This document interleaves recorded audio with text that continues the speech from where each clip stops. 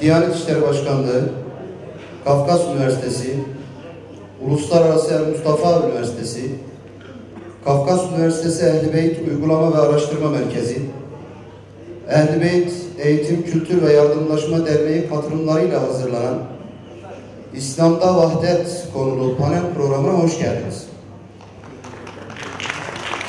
Programımızın akışı şu şekilde olacaktır. Saygı duruşu ve İstiklal Marşı, Kur'an-ı Kerim tilaveti, İslam'da Vahdet konulu panel, hediye takdimi ve kapanış. Sizleri devletimizin kurucusu Gazi Mustafa Kemal Atatürk ve silah arkadaşları ile aziz şehitlerimiz için saygı duruşuna ve akabinde İstiklal Marşımızı okumaya davet ediyorum.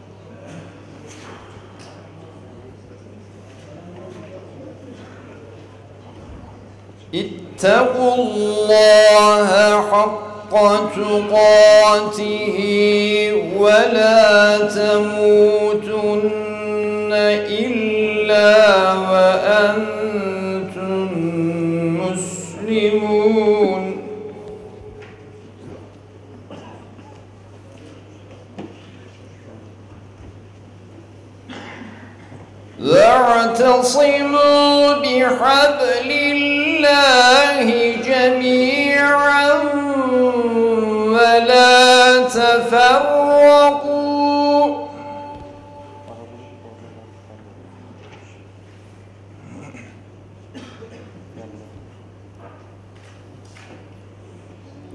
واذكروا نعمة الله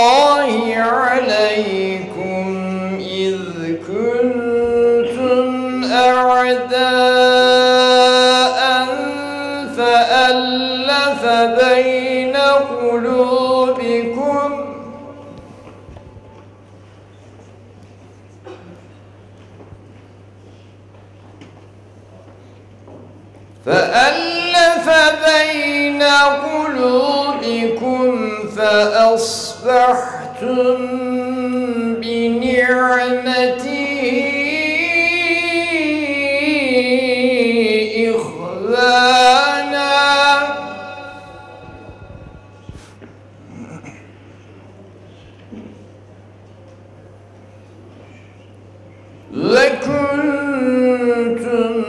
على شفا خفرة من النار فأنقذكم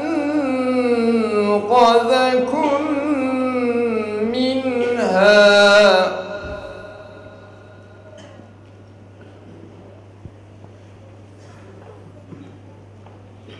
كذلك يبين الله لكم آياته. لعلكم تهتدون.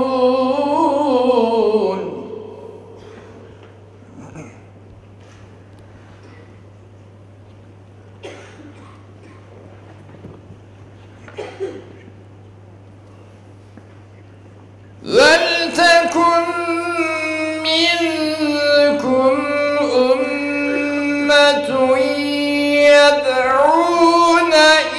الخير ويأمرون بالمعروف.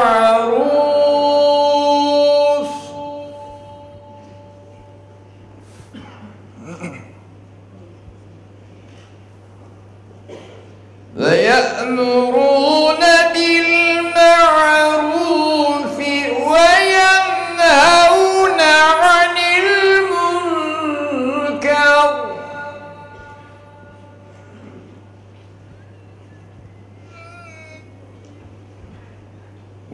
لا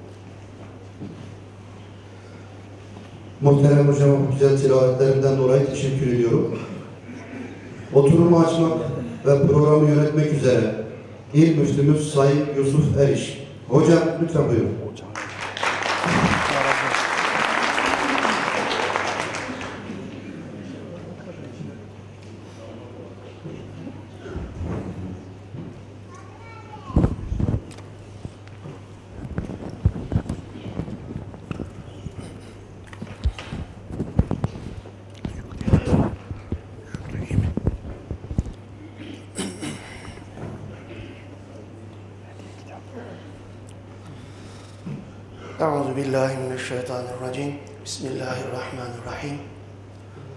Elhamdülillahi Rabbil Alemin. Ve salatu ve selamu ala Resulina Muhammedin ve ala alihi ve sahbihi ecma'in.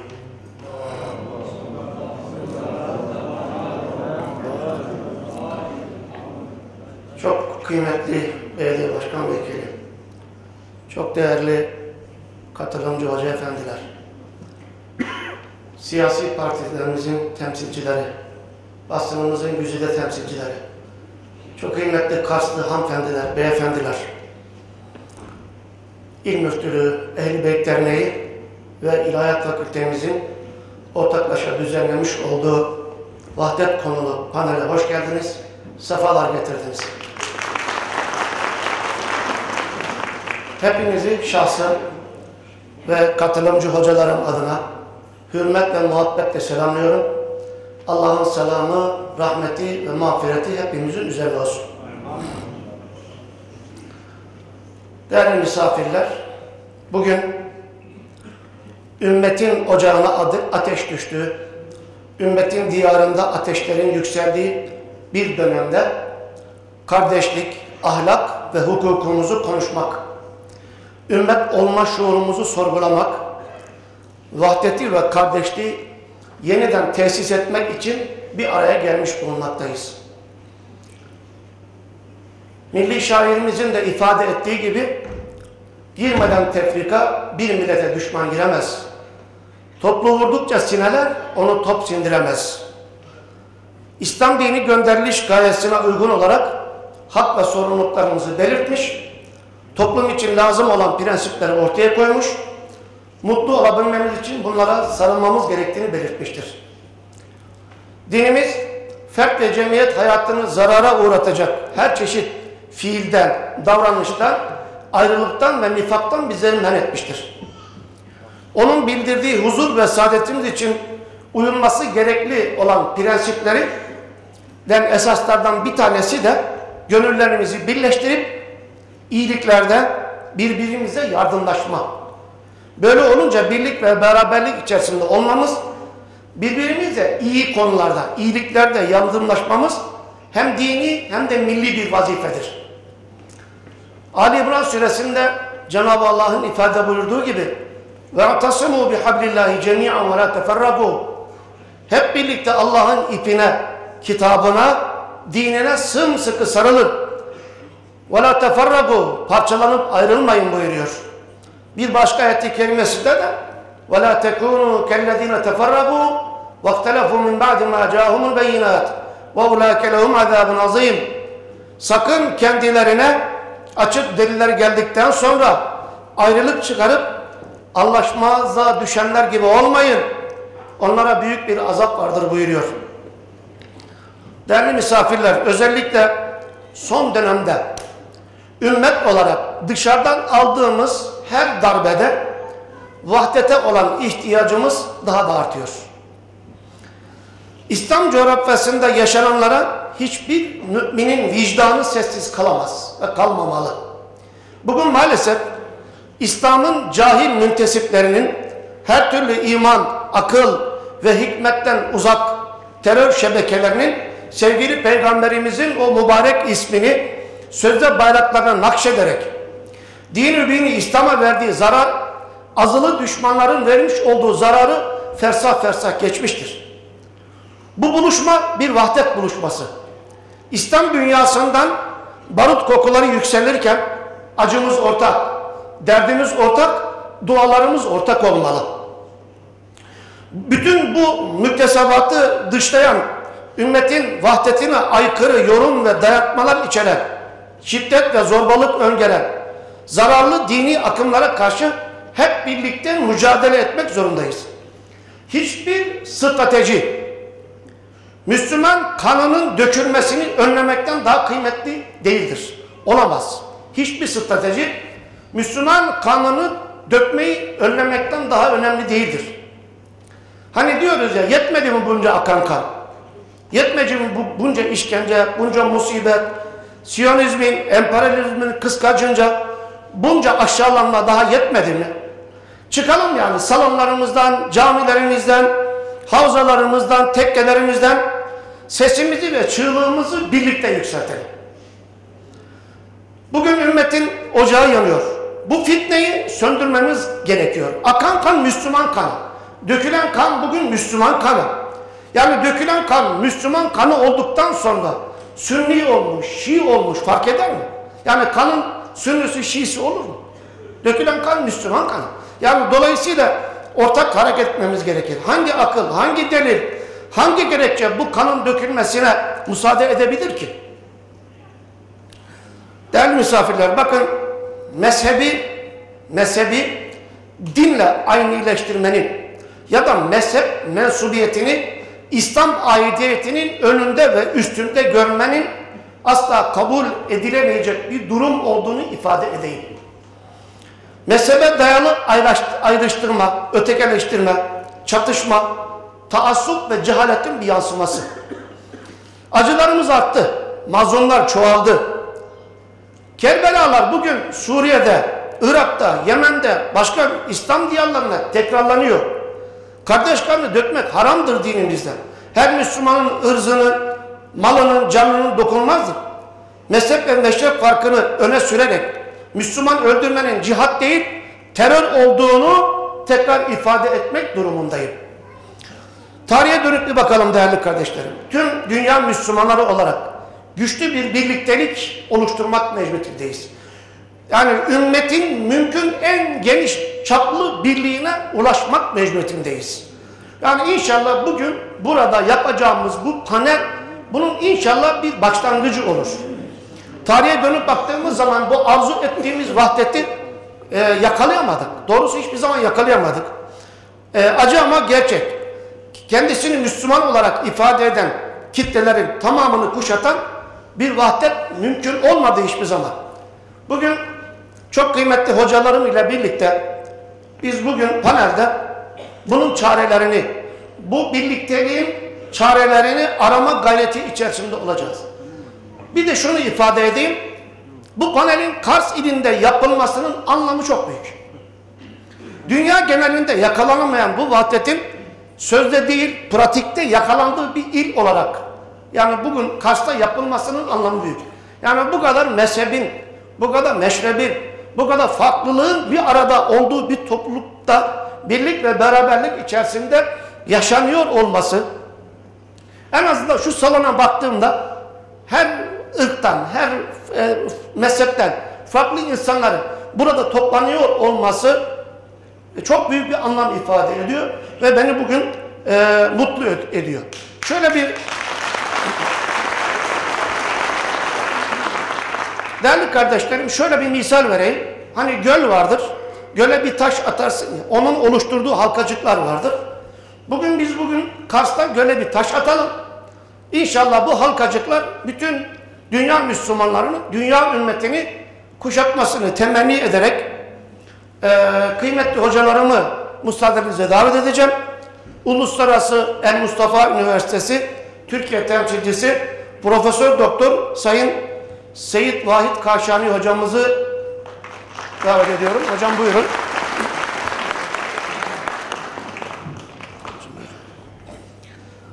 Yine Kafkas Üniversitesi İlahiyat Fakültesi Dekan Yardımcımız e, Doçent Doktor Sayın Ayhan Hira hocamızı davet ediyorum.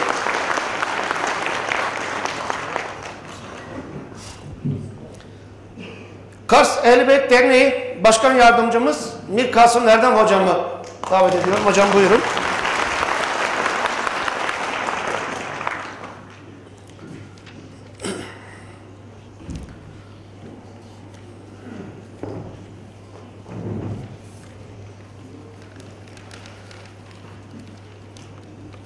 Değerli misafirler hani bugün yaşanan bu sorunların dünyayı huzura kavuşturacak yani yegane değer olan İslam'ı anlatacak, öğretecek, tanıtacak olan e, hocalarımıza, alimlerimize büyük bir görev ve sorumluluk düşüyor.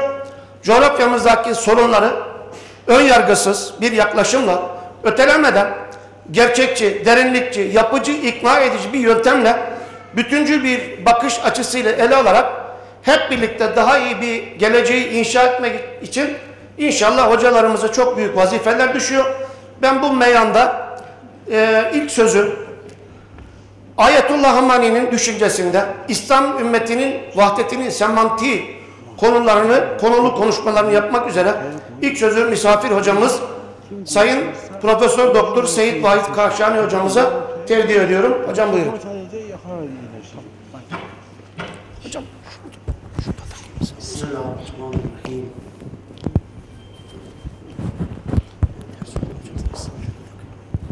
Çok teşekkür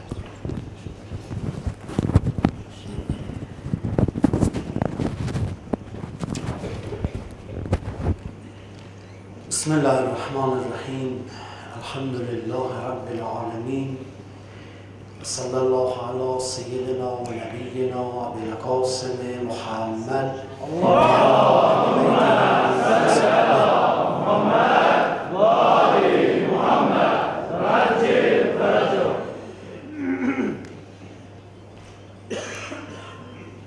Mən öz növbəmdə təşəkkür edirəm Sayın Müftimizdən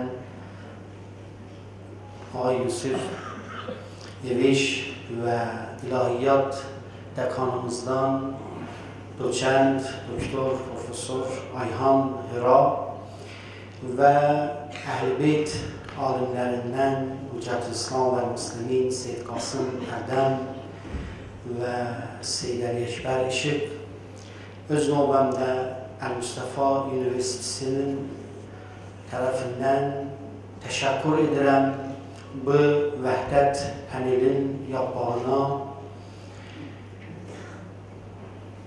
İnşallah hepimiz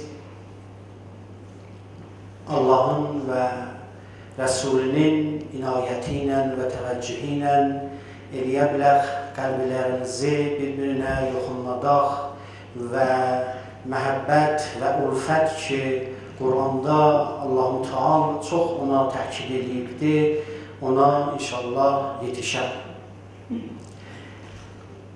Vəhdət və insicam və ittihad İslami ölkələrində, İslami ümmətlərin arasında bugün bir önemli məsələlərdəndir.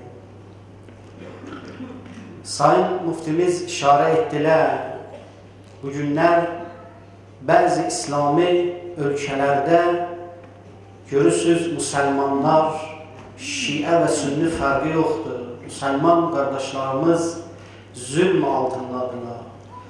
Qanları tökülür. İraqda, Yəməndə, Əfqanistanda, Myanmarda, Suriyədə və ham hepsi müsəlmandırlar.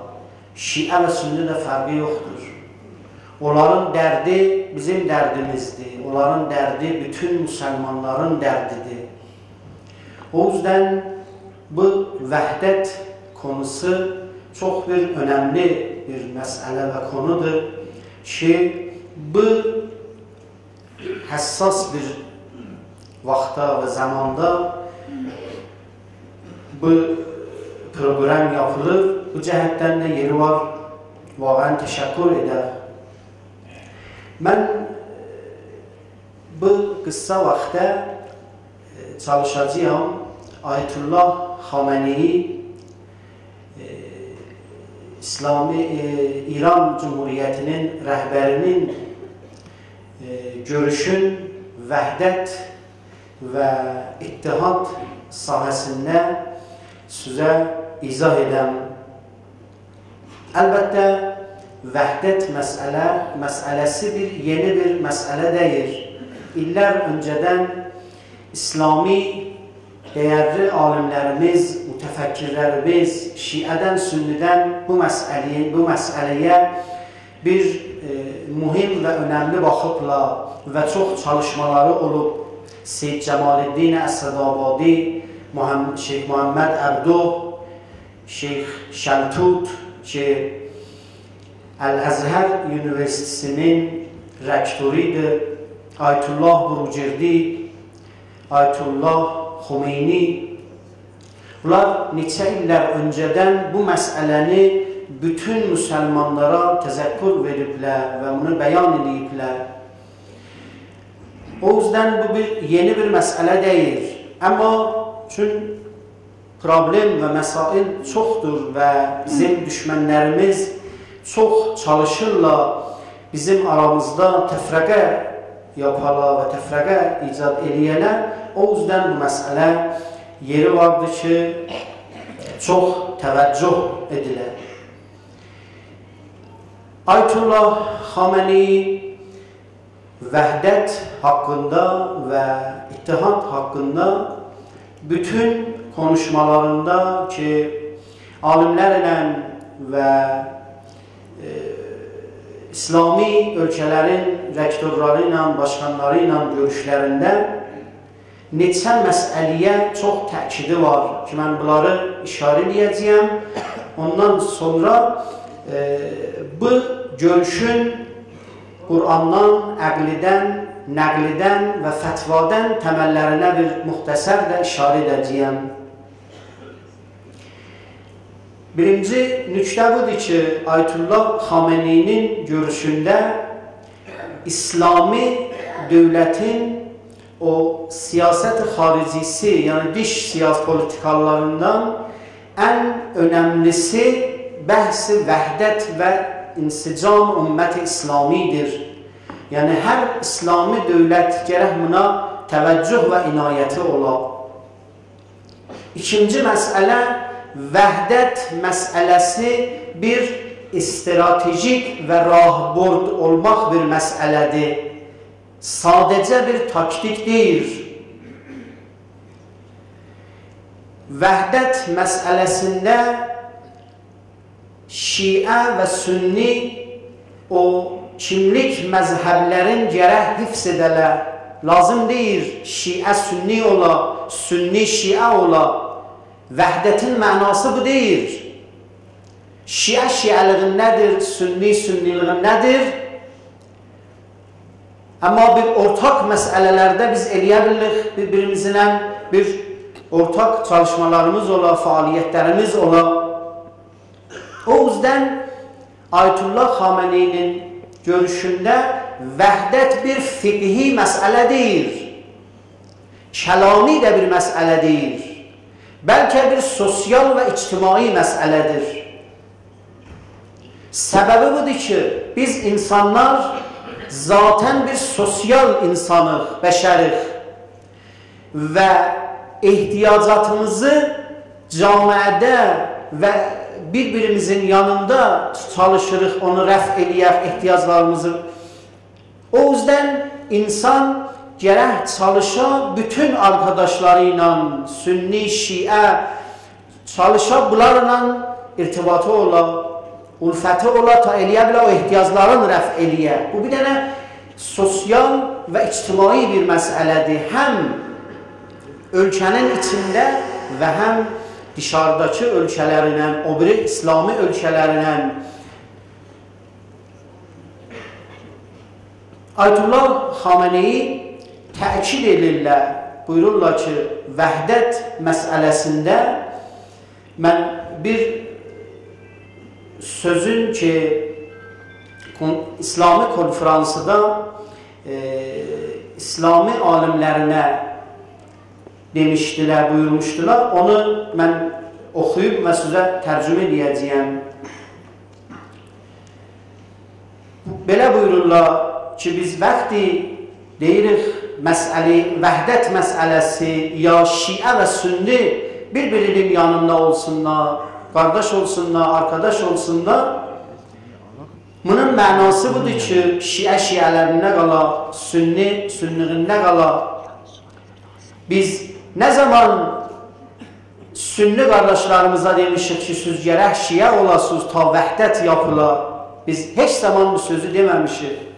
Necə ki, şiiyə də deyilməyib, sən istəsən vəhdətə çatasan, ittihada çatasan, gərək sünni olasan. Yox, bu cür bir məsələ yoxdur.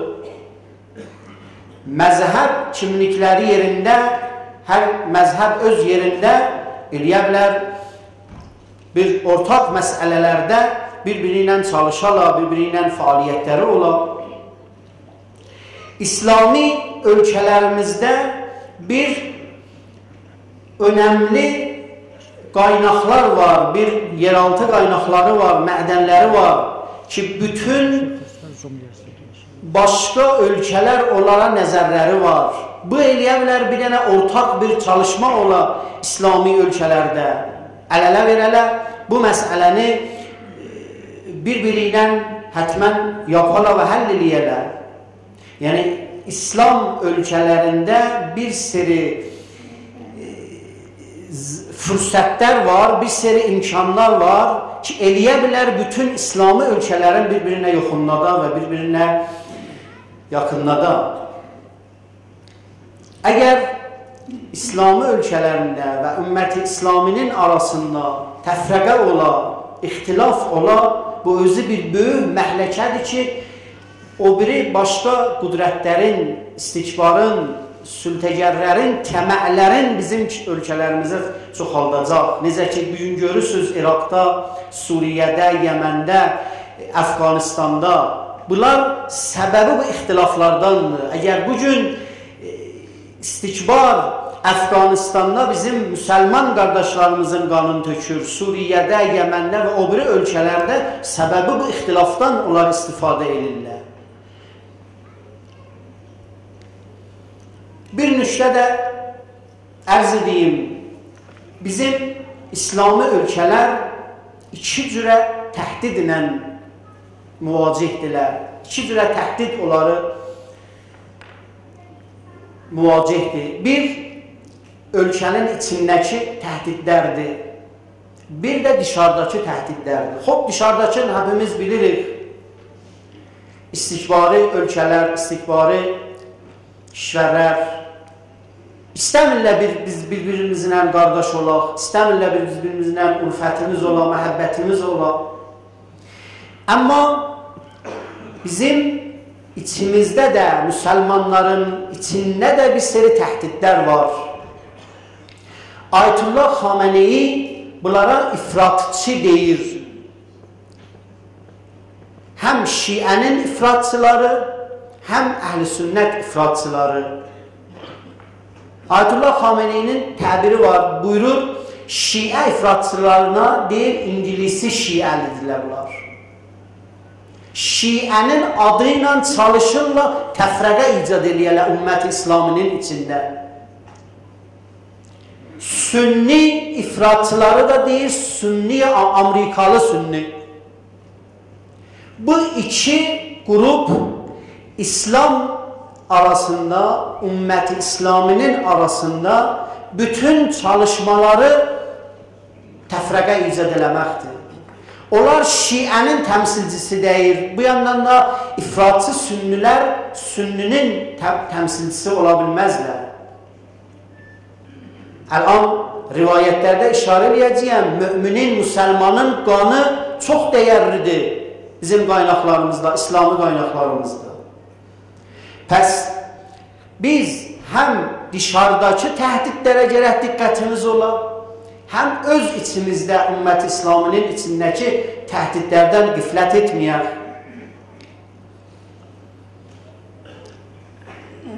Xob, bu görüşün mən bir təməllərinə də işarə edim. Quranda çox ayatımız vardır ki, vəhdət məsələsinə işarə edir. ان هذه امتکم امتا واحده و انا ربکم فاتقون bu امت واحد birlik birlik bir من Ve ana rabbukum ben ne sizin و pervardigarızam. به etesimu bihablillahi و ve la سایل مفتمیز با آیه ayet güzel لده Bu ayədə mən bir nüktə istirəm deyəm. Bizim dinimizdə, yəni fiqhimizdə ki, şiə ki, sünni fərqi yoxdur. Bir seri Allahın əmrləri var. Əqimus salat, namaz qılın, atuz zəkat. Bunlar fiqhi bir əmridirlər. Bizə vacibdir, fərzdir. Bu ve'tesimu bihablillahi cemiyen bu da emridir Allah'ın tarafından. Bir sosyal ferzidir, vaciptir. Necə əqimus salatda biz deyirik namaz vacibdir.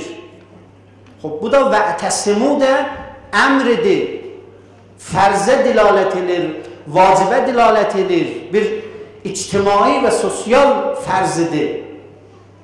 و لا تفرگو نحیه ده ها کزا او چی دیر؟ فرگه فرگه علمیون اختلاف علماسن آرزده بو دا. بری نحیه سوسیال ده اجتماعی ده یعنی انسان وقتی جامعه ده یاشیر گره او بری آرکاداشلاری نان محبت نان اولفت نان ارتباط اولا. و از نعمت الله علیکم از کنتم اعداعا اللهم ən böyük niməti ki, birlikdə onu yada gətirin. Ez kuntum ədaən bir zamanı siz bir-birinizlə düşmən idiniz. Fəəlləfə beynə qulubikum. Allah Müteal qəlblərinizdə ulfət və məhəbbət icad elədi. Fəəsbəhtum bi ni'mətihi ixvana. Bu birlikin sayəsində bir-birinizə arkadaş oldunuz. Bir ayə də işarə edeyim. Və ətiyullah və rəsuləhu və la tənazəhu fətəfşəru və təzhəbə rihukum. Bu ayədə Allah-u Teala çox gözəl təfrəqənin, əsərin camiədə işarə edir. Ətiyullah və rəsuluh Rəsuləhu Allahın, Allahdan və onun rəsulindən itaat edin. Və la tənazəu Bir-birinizlə savaşmayın. Ki, əgər savaşsız fətəfşəlu Həlak olacaqsınız. Və təzəhəbə rihukum Hükümətüz, gücüz qeyb olacaq, beyndən gedəcək. Baxın, bu ki deyirəm bir vəhdət ictimai və sosial bir məsələdir. Bunu ayətdanla düşünmək olur. Bizim rivayətlərimizdə də bu təkid olub.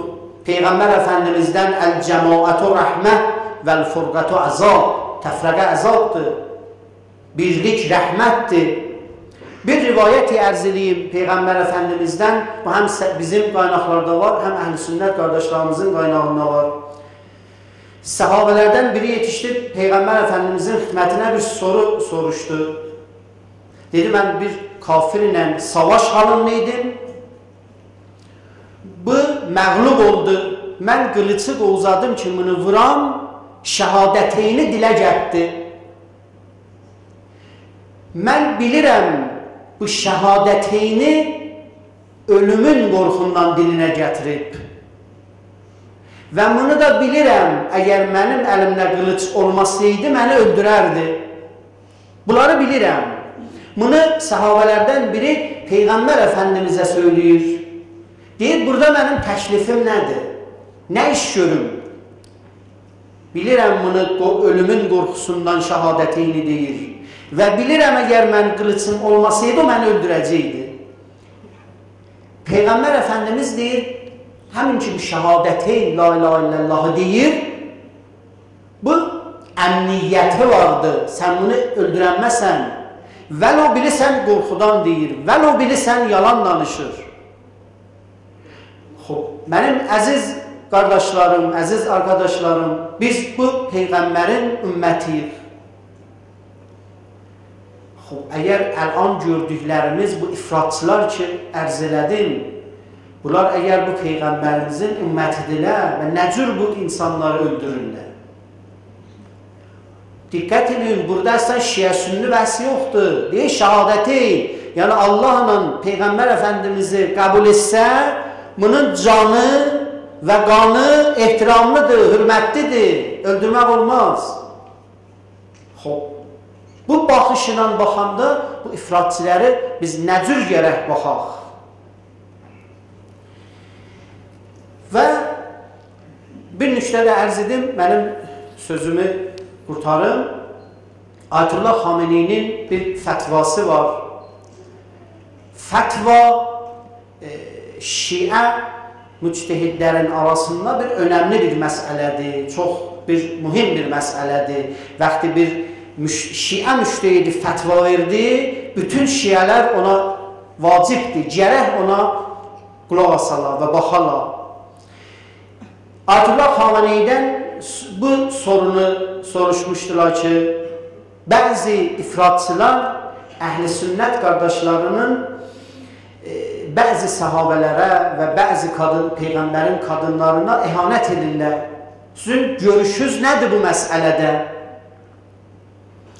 Ayətullah Xameneyi bu cür buyurur. Deyir, ihanət, təhqir əhl-i sünnət qardaşlarının müqəddəsatına, səhabələrinə, Peyğəmbər Əfəndimizin qadınlarına və bütün ənbiyanın qadınlarına haramdır, şərən haramdır. Heç kəs eləyə bilməz onlara həqarət edə, ihanət edə.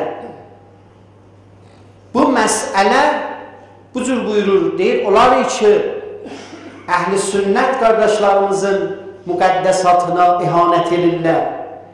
Ya cahildirlər, ya əmdən və qəsdən bu işi görürlər.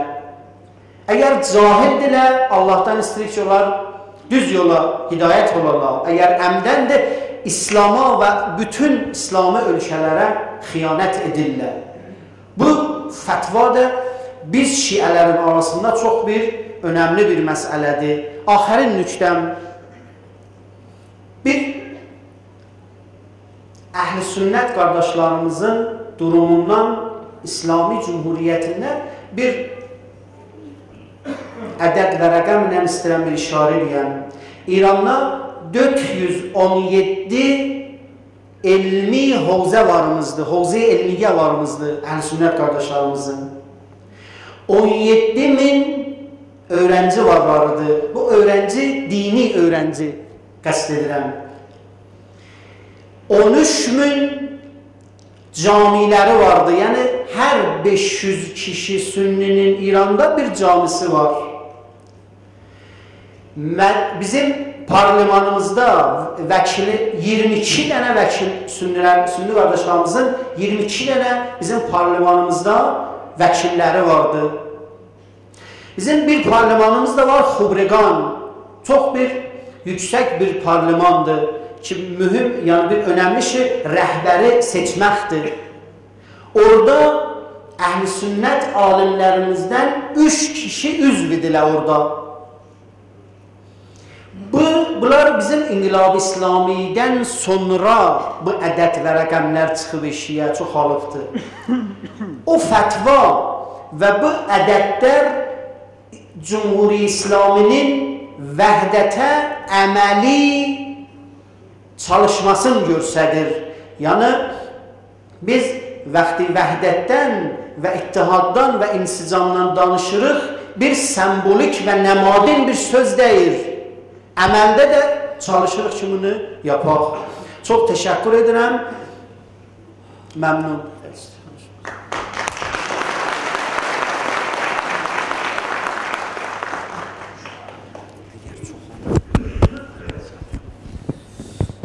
Değerli misafirler, konu çok uzun bir konu. Yani Hoca Efendi'nin bahsettiği konu çok uzun bir konu. Ancak hocamız bunu kısa zamanda özetledi. Ee, Müslümanlar olarak yaklaşık 200 yıldır Batı'nın bu emperyalist saldırılara karşı karşıya bulunmaktayız. Hani önceki dönemlerde de ciddi e, usulü ve yaşamsal sorunlar olmasına karşın e, Batı'nın bu modernleştirici gücü ele geçirilmesinin ardından sorunlar daha da karmaşık bir hale geldi. Ama son yıllarda bu ümmetin vahdeti e, konuyla konularıyla ilgili e, çok ciddi e, çalışmalar var. Buna paralel olarak e, ben çok fazla sözü burada uzatmadan bir iki bir şey daha izah edip hemen sözü e, başka hocama tevdi edeceğim. Ben şunu bir türlü hafızam almıyor. Ya bir e, Birinci Dünya Savaşı'ndan sonra birbirlerini hunharca katledenler, birbirine silah çeken Avrupa bugün bütün sınırları kaldırmışken, yani Avrupa Birliği adı altında, e bunlar değil miydi? Naziler değil miydi? Fırında birbirlerini yakanlar, birbirlerini hunharca katledenler, bütün sınırları ortadan kaldırmışken, bugün benim memleketime, ülkeme, özellikle İslam ülkelerine sınır koymasını, İşte sen Kürtsün, sen Lazsın, Çerkessin, Alevisin, Sünnisin şeklinde sınır koy, koymasına bir türlü benim hafızam almıyor değerli kardeşlerim. İnşallah eee Az önce de Hoca Efendi'nin de ifade ettiği gibi şimdi bir Hint atasözü var. Hint. Hintler der ki eğer köprüden geçerken aşağıya bakın iki tane balık kavga ediyorsa oradan bir İngiliz geçmiştir der. Buna uyanık olmak lazım. Dikkatli olmak lazım değerli kardeşlerim. Ee, ben şimdi de ayrılığın sebebi ve çözümleri konulu konuşmalarını yapmak üzere ee, sözü Mir Kasım Erdem hocama tevdi ediyorum. Hocam buyurun.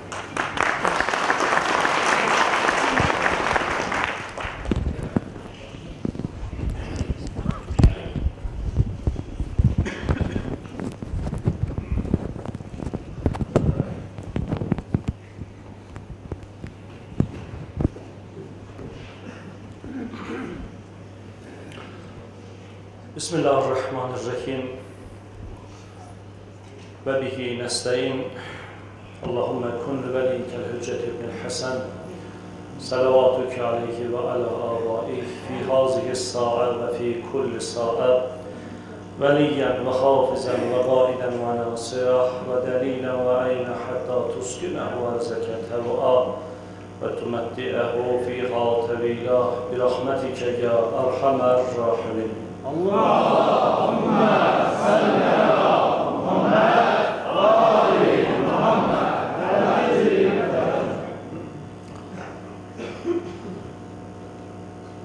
İnsanoğlu toplumsal bir varlıktır. Yani insanoğlu tek başına yaşayamaz. Bazı varlıklar vardır tek başına yaşar ve tek başına ölür. Örneğin yılan tek başına doğar, tek başına yaşar ve tek başına da ölüp gider. Ama insanoğlu böyle değildir. İnsanoğlunun bir arkadaşa ihtiyacı vardır. Toplumsal bir varlıktır. Tek başına yaşayamıyor. Öyledir de bir insan iki saat bile tek kaldı mı canı sıkılıyor, telefon açıp bir arkadaşını çağırıyor yanına veya da yanına gidiyor. İnsanoğlu böyledir. Toplumsal yaşamı olan bir varlıktır. O zaman biz şuna mecburuz. Toplu yaşayacağız. Kaçışımız da yok. İki, insanoğlu doğduğu çevreden, aldığı eğitimden veyahut da kişiliğinden dolayı başkalarıyla aynı düşünemez. Herkesin farklı bir düşüncesi vardır. İnsanoğlunun yapısı böyledir. Allah böyle yaratmıştır. Herkes aynı düşünmeyecektir. Farklı düşünecekler. Bu ikisinden bir netice aldı.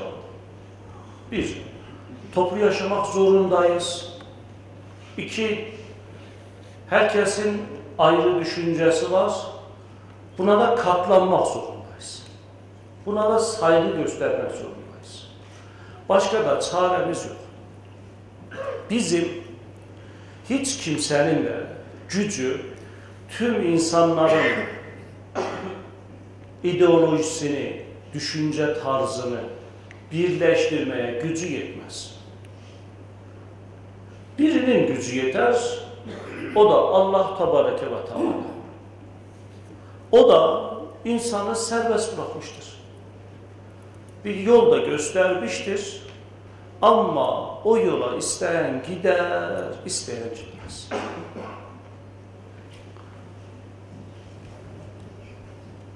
Şimdi böyle olunca biz mecburen bir başkasının düşüncesiyle yaşayacağız ya, onu bir tanımalıyız. Tanımalıyız. Çünkü tanımazsak ona hep düşman oluruz.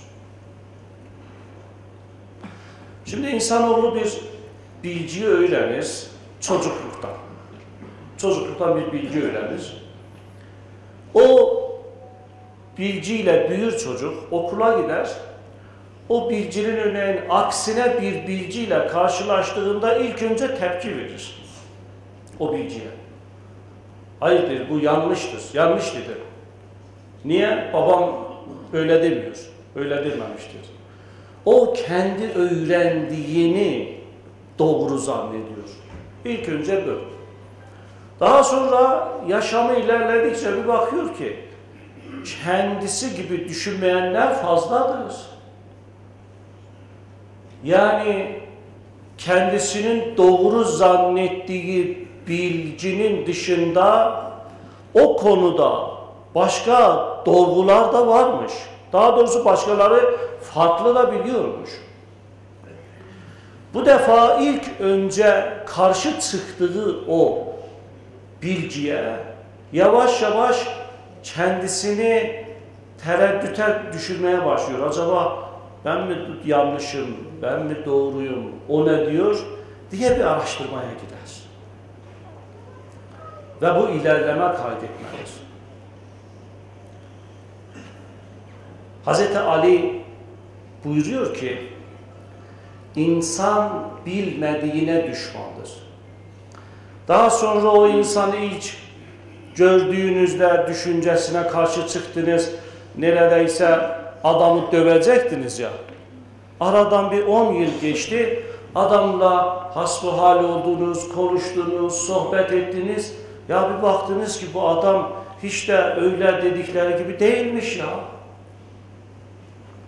Benim bildiğim de öyle o kadar da doğru değilmiş diye düşünmeye başlıyor. Dolayısıyla da karşıdakini tanımama, birlikte yaşamanın önünde çok büyük bir engeldir. Çok büyük bir engeldir. Karşıdakini tanıyacaksın. Tanıyacaksın ki düşmanlığın da azalsın. İnsanın şunu bir kabul etmesi lazım.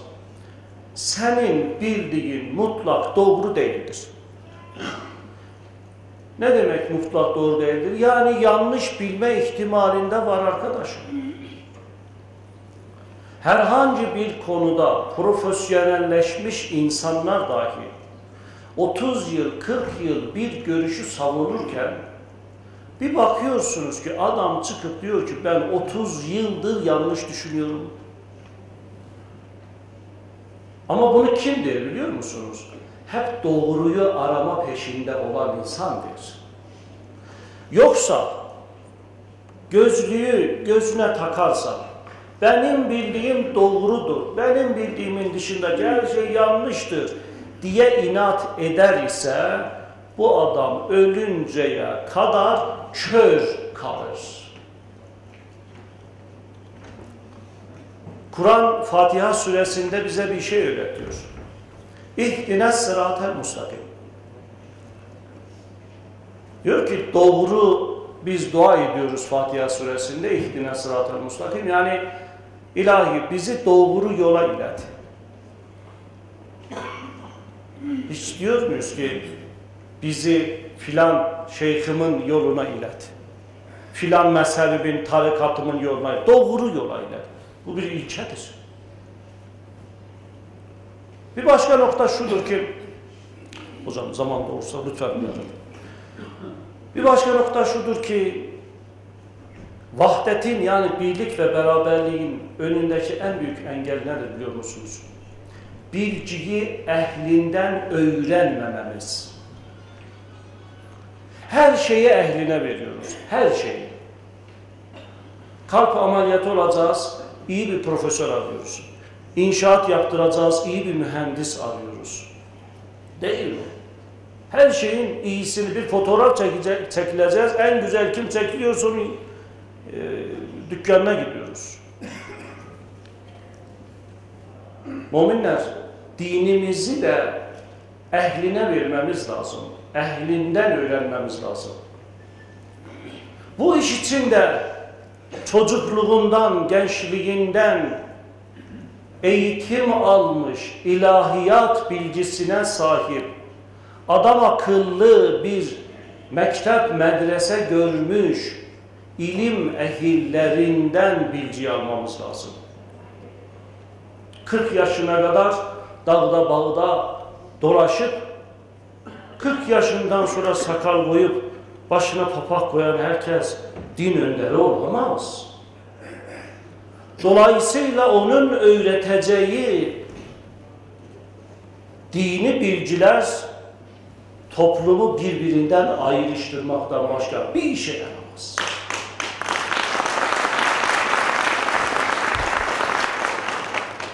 Ben bunlar ve daha birçok şey problemin kaynağıdır. Peki çözüm nedir? Nacizane birkaç tane çözümden bahsetmek isterim. Bir, Allah'ın bize biraz önce hocamızın buyurduğu gibi Allah'ın bize bir emri vardır, emri. Bu bir emirdir. Nasıl oruç tut diyor ya Allah. Bu bir emirdir. Diyor ki Allah'ın ipine sarıl. Yani bizim bizim ortak bir tutunacağımız noktamız var. Kur'an. Kur'an'ı iyi tanıyıp iyi bilmeliyiz. Ve Kur'an bizim önderimiz olmalıdır. Bu bir. Ve bu emirdir. İki, hoşgörü ve saygı çok önemlidir. Hz. Ali bir sözünde buyuruyor ki, insanı kalben sevmediği müddetçe o insanla iyi olamazsın. Prosedürü bir kenara bırakacağız. Bürokrasi bir kenara bırakacağız. Canı gönülden ben Adem hocamı sevmeliyim. Canı gönülden, kalpten. Niye biliyor musunuz? Hazreti Ali buyuruyor ki, bir, senin et kan kardeşindir. Nasıl oluyor Adem benim et kan kardeşim oluyor? Diyor Adem ve Havva'dan değil misin?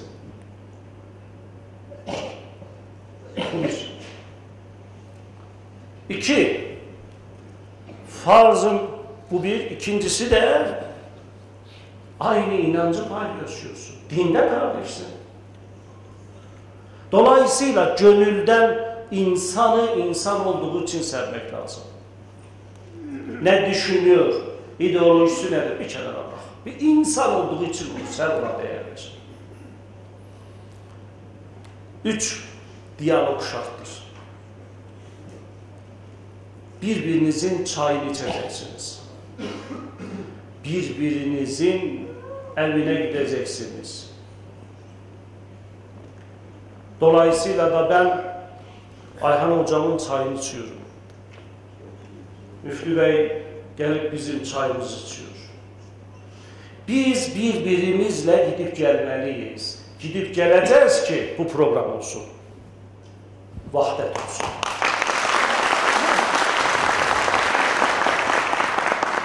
Ve son kelimem, son pardon cümlem, ayrıştırıcı dilden uzak duracağız. Ayrıştırıcı dilden aman uzak duracağız.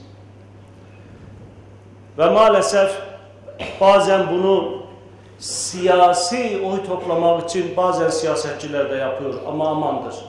Biz onların tuzağına düşmeyelim.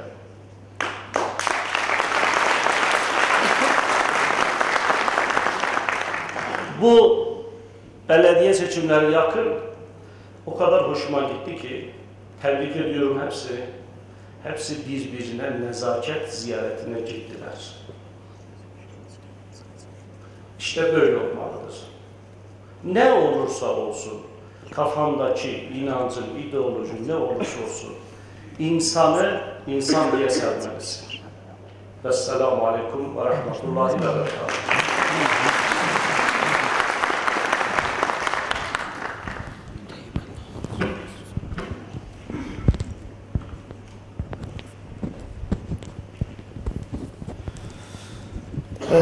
Mikasım Hocam Allah razı olsun. Ağzına yüreğine sağlık. Teşekkür ediyoruz. Tabii çok güzel konulara temas ettiniz.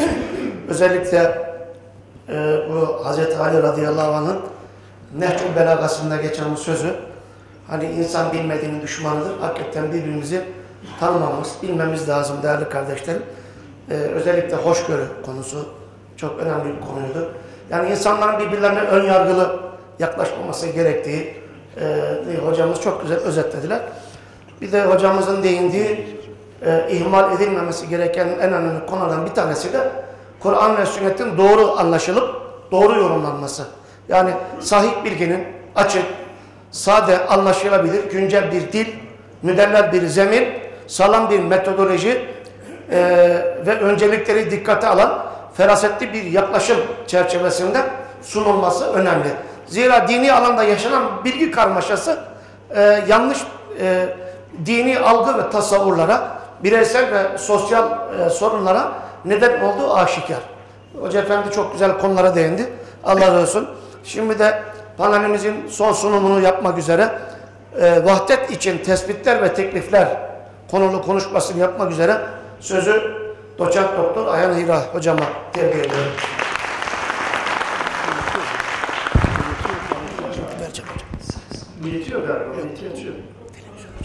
Peki.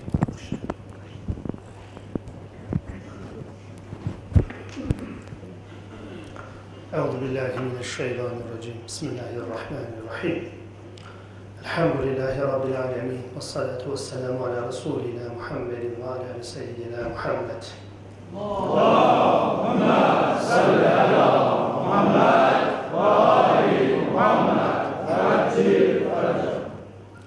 Yaklaşık 30 yıldır bu kürsülerdeyim.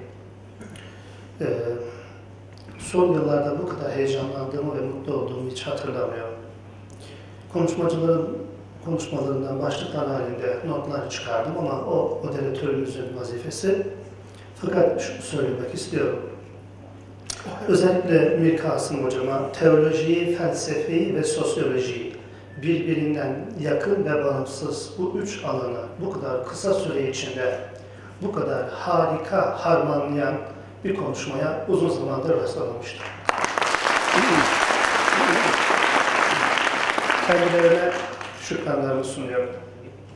Şimdi bu konuşma yaklaşık 15-20 dakikalık bir süre içinde tamamlanacak ve belli başlı tespitler ve teklifler bu konuşmanın içeriğinde yer alacak. Bir futbol maçı zihnimizde tasavvur edelim. Antrenörler ve üst düzey yöneticileri maç bittikten sonra beraber yemeğe gidiyorlar. Fakat taraftarlar stat'tan çıkınca birbirleriyle kavga ediyorlar. Manzarayı anlatabildim değil mi? Aslında konuşmanın özeti daha baştan ne oldu ortaya çıktı. Şimdi problem şu. allah Teala bize diyor ki ümmet olun. Ümmet olmanın manası belli. Yani üm anneden geliyor. Aynı anneden doğduğunuzda, aynı anneden beslendiğinizde karındaş oluyorsunuz. Ama ananız Allah'ın göndermiş olduğu vahiy olduğunda aynı vahiyden doğup aynı vahiyden beslendiğimizde işte kastettiğimiz ümmet oluyoruz. Peki niye ümmet olunamıyor? O da çok basit. Sofraya oturdunuz. Hiçbir şey yemediniz. Tefrit. Yapmanız gerekeni yapmadınız. Veya aşçılar öyle güzel bir sofra kurmuşlar ki ne bulduysanız yediniz, bu sefer kemer mideyi zorlamaya başladı. Bu da ifrat. Yapmanız gerekenden fazlasını yaptınız. Halbuki yapmanız gerektiği kadarını yapsaydınız hiçbir problem çıkmayacaktı. İşte İslam ümmetinin şu anda 21. yüzyıldaki problemi bu. Halbuki İslam ümmetinin başının ağrısına, midesinin bulantısına çare olacak öyle güzel tedavilerimiz var ki. En baştan başlayalım. Dünyanın neresine giderseniz gidin. Müslümana teklif yükleyen sistemin adı fıkıh. Dünyanın neresine giderseniz gidin, ister Farsça, ister Arapça, ister Türkçe vesaire. Bunun adı fıkıhtır. Fıkıh bizim ortak paydamız. Dolayısıyla en temel ortak paydası fıkıh olan Müslümanların başkalarının kafa yapısıyla düşünmemeyi öğrenmesi gerekiyor. Birinci problem buradan kaynaklanıyor. Probleme yaklaşım tarzımız. Probleme yaklaşım tarzını belirleyen fıkıh ve fıkıh usulü zaten senin elinde var. Malzeme, mekanizma senin elinde var. Kapkaranlık bir odada senin elinde son derece kuvvetli bir el feneri var. Fakat sen bir başkasından ışık yapmasını istiyorsun. Ne anlamı var? Gereksiz. Şimdi diyor ki müştehitlerimiz, kişinin lehine ve aleyhine olan ne varsa bunu bilmesine fıkıh deniyor. Lehime ve aleyhime olanları bilmem gerekiyor. Peki, tarihi bilmezsem, içinde yaşadığım zaman dilimini iyi okuyamazsam, geleceğe nasıl projeksiyon tutacağım? Ben daha kendi yaşadığım çağı okuyamıyorum. Müslümanların en büyük problemleri bu. Müslümanlar bir takım milletlere, uluslara, siyasi görüşlere, ideolojilere tepkisel söylemlerde bulunuyorlar. Fakat bu konuşmalar bittikten sonra dışarıya çıktıklarında ev yaşantılarını ve sosyal yaşantılarını o eleştirdikleri sistemlere göre kurguluyorlar.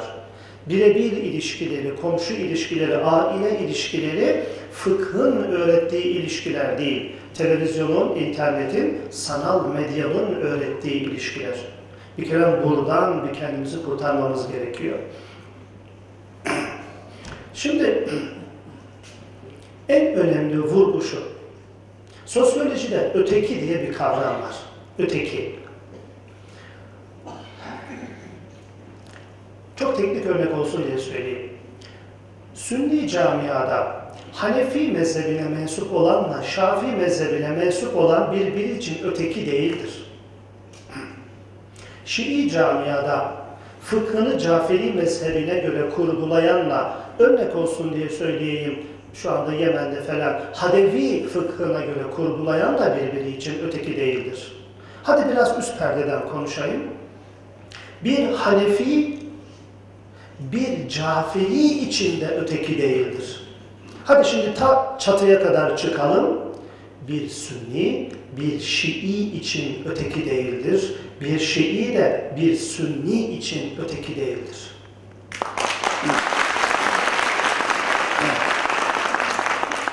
Benim için öteki benim gibi inanmayandır. Ben bir Allah'a inanırım. Bu inandığım Rabbimin zatı ve subuti sıfatları vardır. Meleklere, peygamberlere, kitaba, kader, kaza, ahirete inanırım. Benim gibi inanan insanın alt kimliği, mezhep olarak ne olursa olsun o bendendir. Et, tırnak, kemik birbirinden ayrılamaz.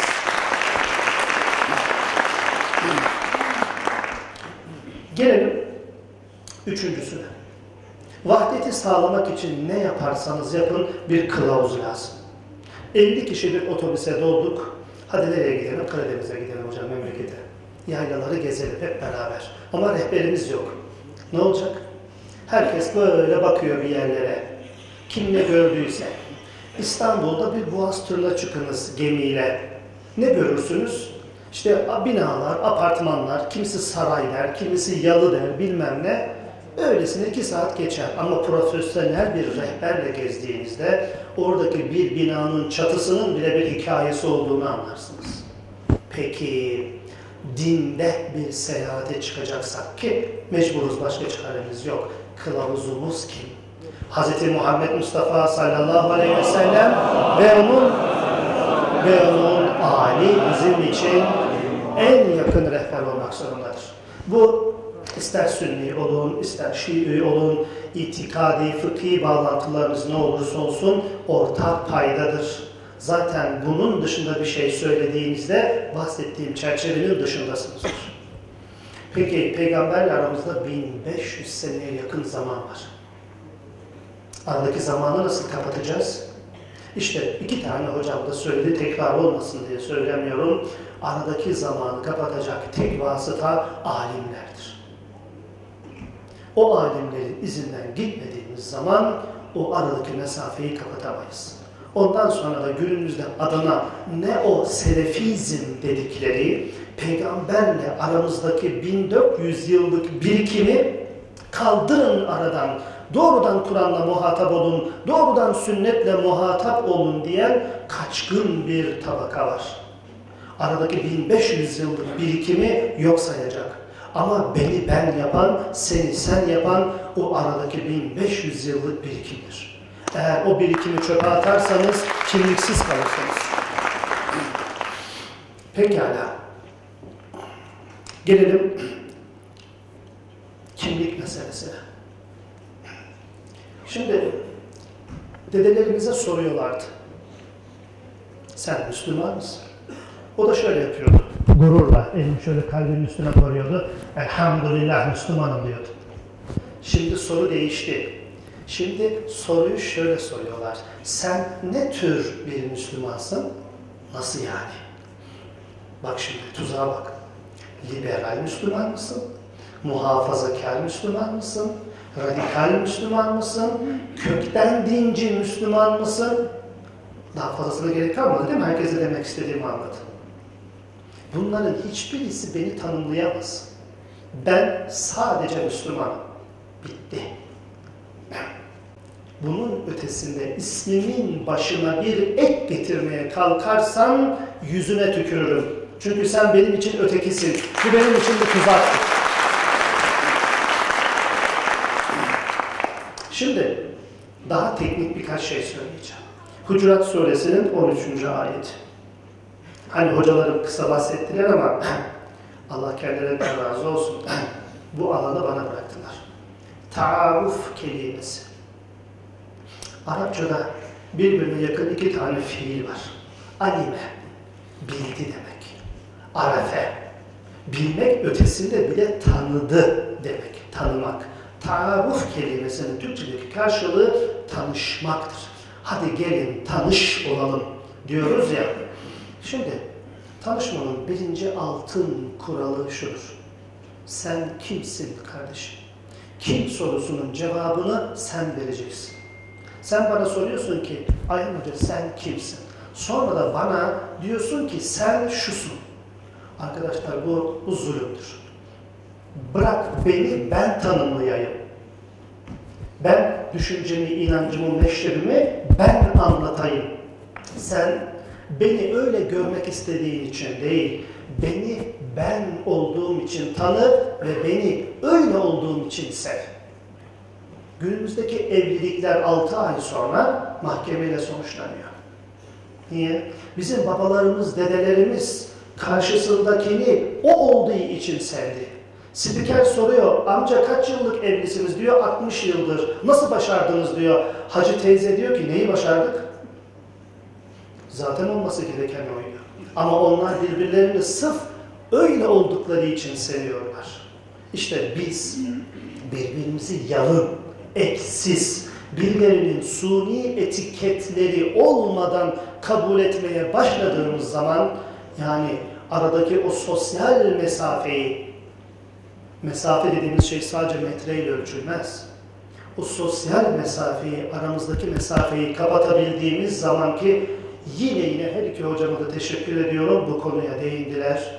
Birbirimizin mutluluklarını paylaştığımızda, birbirimizin acılarını paylaştığımızda, birbirimizin sofrasını paylaştığımızda aramızdaki sosyal mesafe zaten sıfırlanacağı için hiçbir top bizim surlarımızı yıkamayacak Allah'ın izniyle.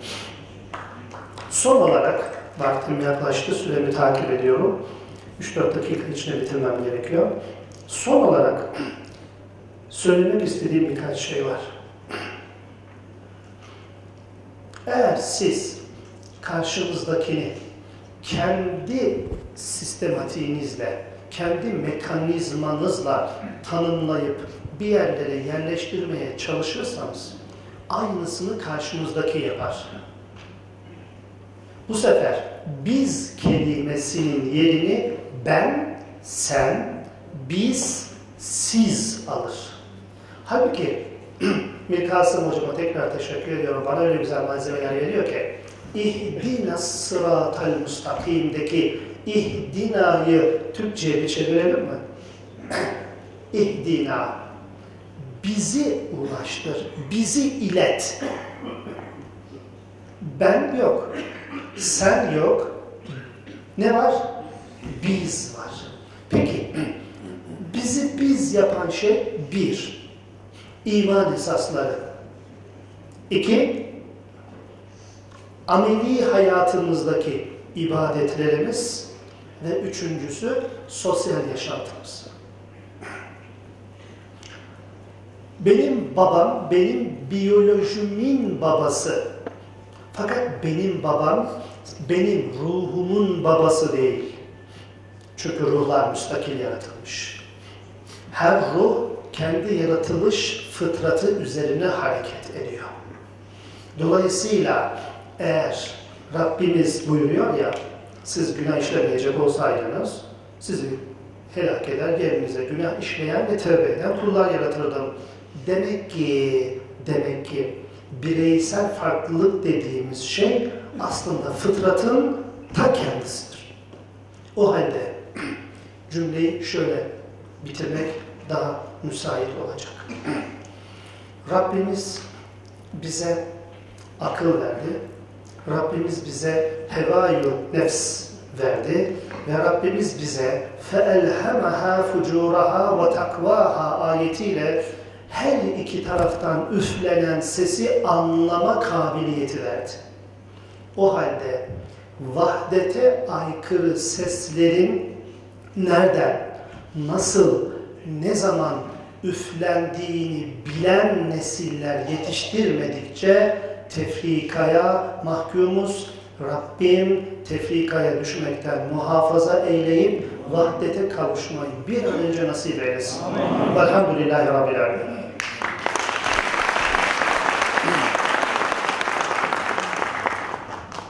Evet, Kıymetli e, dekan yardımcımıza çok teşekkür ediyorum. Şöyle veciz dolu konuşmasından ötürü. Kıymetli kardeşlerim, Hoca Efendi'nin de ifade ettiği gibi Aleyhisselatü Vesselam Efendimizin bir sözü var, hadis-i şerifleri var. Buyurur ya, iman etmeden cennete giremezsiniz. Birbirinizi sevmedikçe de iman etmiş olmazsınız buyuruyor. Rabbim inşallah birbirimizi sevmeyi nasip eylesin. Ben toparlayacağım hemen bitiriyorum. Bugün dünyanın ve özellikle İslam coğrafyasının savaş, yoksulluk, terör eylemi, ümitsizlik gibi devasa sorunları, kuşat, sorunların kuşatması altında zor ve sıkıntılı süreçlerden geçtiğini belirtmek gerekir. Ee, bugün Müslümanların en büyük, en temel sorunu değerli kardeşlerim parçalanmışlıktır. Ee, bu tabloda harici unsurların uyguladıkları politikaların önemli payı olsa da bizim ümmet olarak özellikle 2-3 asırdır e, dünyada yaşananları doğru anlama ve yorumlamadan kaynaklanan ciddi zaaflarımızın da olduğunu belirtmek lazım. Bu meyanda söz konusu coğrafi parçalanmışlık, zihinsel dağınıklığı da maalesef beraberinde getirmiştir.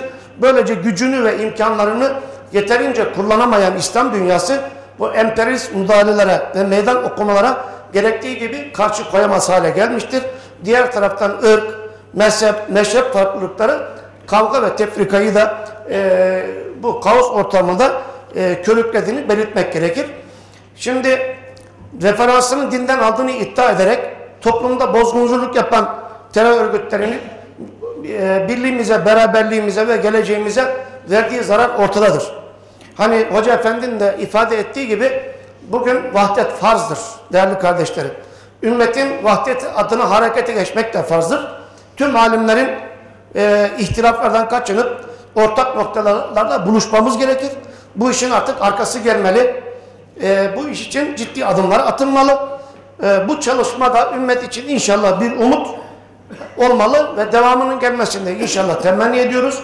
Bu toplantıda olduğu gibi ayrı gayrı bir düşünce gözetmeksizin ümmetin vahdeti adına inşallah bir şeyler sunabildiysek e, ne mutlu bizlere. Ben e, bu duygu ve düşüncelerle e, katılımcı hocalarıma, Ee, bütün salonu dolduran sizlere ayrı ayrı hürmet, hürmet ve muhabbetlerimi sunuyorum. Ee, ben bu toplantıyı bitirirken bir davetim olacak. Burada hoca efendiler, siyasi partilerimizin temsilcilerini inşallah burada bir el ele belediye başkan adaylarımız var. Burada el ele inşallah bir güzel bir fotoğrafta verirsek eee, mutlu olacağım. Hocam.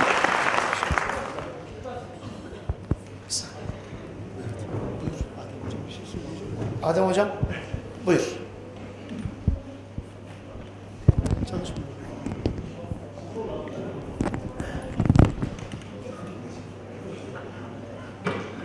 Sayın Hocam her zamanki gibi hızlı davrandı. Elimizden aldı yapacağımız işi. Biz esasen böyle bir karar vermiştik zaten. Ee, 40 yaşındayım. 20 yılını bu şehre hizmete adamış bir din görevlisi olarak bir inisiyatif almayı uygun gördüm Ali Ekber Hocam'la beraber. Madem ki kardeşiz, kardeşlikten bahsediyoruz.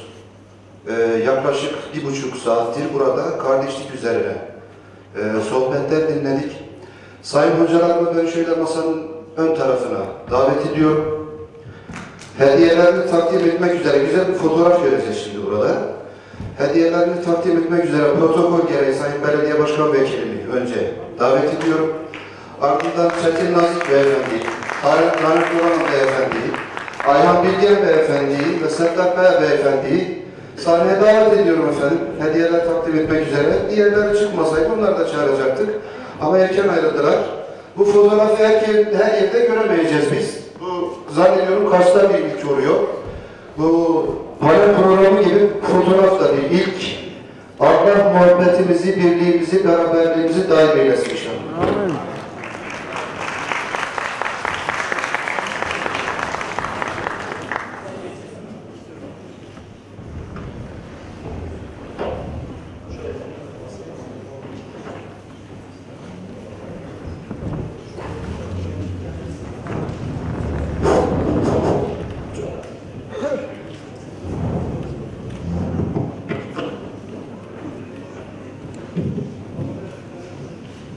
Müftü Bey'e hediyelerini belediye başkanı hediyeci hocam.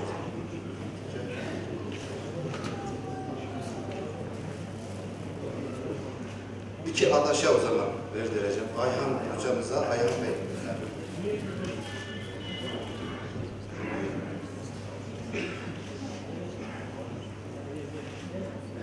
Taner Beyefendi'ye.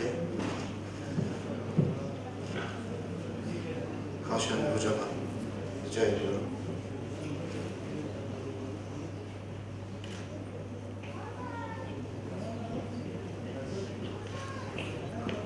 Ayhan Bey sizi bir daha rahatsız edeceğim. Settar Bey affedersiniz buyurun. Bir Kasım Beyefendi'ye.